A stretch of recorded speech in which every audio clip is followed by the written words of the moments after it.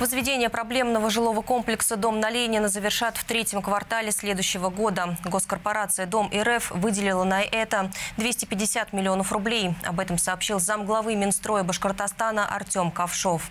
Объект строила компания «Госстрой Стандарт», которую в сентябре признали банкротом. Генерального директора фирмы, экс-депутата Горсовета Уфы Кирилла Бадикова заключили под стражу до 22 октября. Его обвиняют в хищении у дольщиков 2 миллиардов 300 миллионов рублей.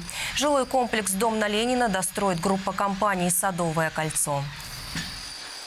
А, На сегодняшний день э, выполняется, там, доделывает э, разводку электрики, идет штукатурка стен, а, соответственно, и подготовка подачи тепло. То есть это процесс там непростой достаточно. Вот, плюс вы видите, что вывешивают уже троса для люлек, потому что на следующей неделе приступаем к фасаду. Начало этого года группа компании «Госстрой» была незавершена 8 жилых домов. По четырем жилым домам принято решение о восстановлении прав граждан через фонд развития территории. По трем домам жилого комплекса «Московский» уже принято решение о выплатах. И выплаты практически произведены. Это жилой дом на улице Минсена. По четвертому дому «Литр 4» ожидаем, что в октябре будет аналогичное решение. Граждане будут получать как бы, свои обоснованные компенсации за незавершение проблемного объекта.